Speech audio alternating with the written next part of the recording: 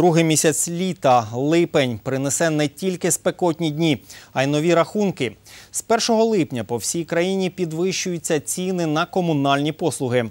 Вартість деяких з них зросте в два рази. Якщо раніше за, одни, за одну гілокалорій за один гілокалорій треба було платити близько 650 гривень, то тепер ця сума сягатиме 1043 гривень. Окремі регіони будуть платити до 1600 гривень. Гаряча вода теж відчутно подорожчає. В залежності від регіону українцям вона обійдеться від 63 до 78 гривень за кубометр. Також з 1 липня українці повинні отримати податкове повідомлення про суму нарахованого податку за нерухомість, якою вони володіли в 2015 році.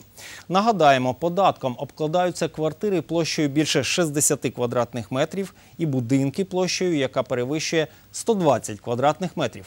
Варто зазначити, що податок встановлюють місцеві органи влади, і він може становити до 2% від мінімальної зарплатні за кожен квадратний метр, а з 2016-го до 3%.